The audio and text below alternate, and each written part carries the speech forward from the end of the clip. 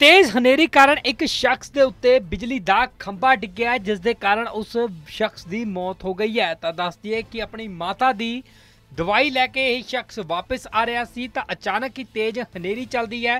ਤੇਜ਼ ਹਨੇਰੀ ਦੇ ਕਾਰਨ ਪਹਿਲਾਂ ਪੀਪਲ ਦਾ ਇੱਕ ਪੇੜ ਟੁੱਟ ਕੇ ਖੰਭੇ ਦੇ ਉੱਤੇ ਡਿੱਗਦਾ ਹੈ। ਖੰਭੇ ਦੇ ਉੱਤੇ ਤਾਰਾਂ ਹੁੰਦੀਆਂ ਨੇ ਤੇ ਤਾਰਾਂ ਦੇ ਉੱਤੇ ਜਦੋਂ ਪੇੜ ਦਾ ਵਜਨ ਪੈਂਦਾ ਹੈ ਤਾਂ ਕਿਹਾ ਜਾ ਰਿਹਾ ਕਿ ਸਾਹਮਣੇ ਤੋਂ ਆ ਰਹੇ ਸ਼ਖਸ ਦੇ ਉੱਤੇ ਹੀ ਖੰਭਾ ਡਿੱਗ ਜਾਂਦਾ ਹੈ। ਹਾਲਾਂਕਿ ਜਦੋਂ ਸ਼ਖਸ ਖੰਭੇ ਦੇ ਨੀਚੇ ਡਿੱਗਦਾ ਤਾਂ ਉਸ ਦੇ ਵੱਲੋਂ ਸ਼ੋਰ ਮਚਾਇਆ ਜਾਂਦਾ ਹੈ। ਮੌਕੇ ਦੇ ਉੱਤੇ ਲੋਕ ਪਹੁੰਚਦੇ ਨੇ ਅਤੇ ਖੰਭੇ ਦੇ ਨੀਚੋਂ ਤੀ ਇਸ ਸ਼ਖਸ ਨੂੰ ਬਾਹਰ ਕੱਢਿਆ ਜਾਂਦਾ ਹੈ। ਤੇ ਮੌਕੇ ਤੇ ਹੀ ਕਿਹਾ ਜਾ ਰਿਹਾ ਕਿ ਐਂਬੂਲੈਂਸ ਨੂੰ ਜਦੋਂ ਫੋਨ ਕੀਤਾ ਗਿਆ ਤਾਂ ਐਂਬੂਲੈਂਸ ਸਹੀ ਟਾਈਮ ਤੇ ਨਹੀਂ ਪਹੁੰਚੀ ਤੇ ਜਦੋਂ ਆਈ ਤਾਂ ਉਸ ਨੂੰ ਹਸਪਤਾਲ ਲੈ ਕੇ ਜਾਂਦੇ ਸਮੇਂ ਉਸ ਦੀ ਰਾਹ ਦੇ ਵਿੱਚ ਹੀ ਮੌਤ ਹੋ ਗਈ ਹੈ। ਤਾਂ ਮਾਮਲਾ ਸਰਹੰਦ ਤੋਂ ਸਾਹਮਣੇ ਆਇਆ ਹੈ। ਦੱਸ ਦਈਏ ਕਿ ਜਿੱਥੇ ਇੱਕ ਸ਼ਖਸ ਦੀ ਖੰਭਾ ਡਿੱਗਣ ਦੇ ਨਾਲ ਉਸ ਦੇ ਉੱਤੇ ਮੌਤ ਹੋ ਗਈ ਹੈ।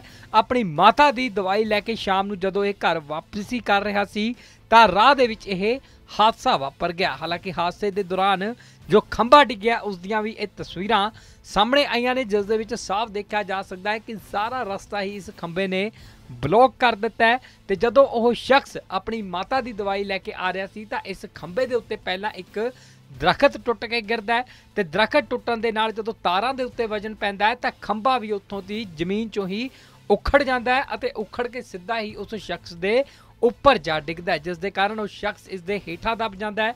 ਉਸ ਦੇ ਵੱਲੋਂ ਜਦੋਂ ਸ਼ੋਰ ਪਾਇਆ ਜਾਂਦਾ ਤਾਂ ਲੋਕ ਮੌਕੇ ਦੇ ਉੱਤੇ ਪਹੁੰਚਦੇ ਨੇ।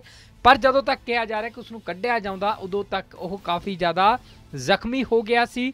ਜਦੋਂ ਐਂਬੂਲੈਂਸ ਨੂੰ ਫੋਨ ਕੀਤਾ, ਤਾਂ ਐਂਬੂਲੈਂਸ ਵੀ ਮੌਕੇ ਦੇ ਉੱਤੇ ਨਾ ਪਹੁੰਚਣ ਦੇ ਕਾਰਨ ਉਸ ਸ਼ਖਸ ਨੇ ਤੜਫ ਤੜਫ ਕੇ ਜਾਨ ਦੇ ਦਿੱਤੀ ਹੈ। ਤਾਂ ਸਰਹੰਦ ਤੋਂ ਇਹ ਮਾਮਲਾ ਸਾਹਮਣੇ ਆਇਆ ਹੈ।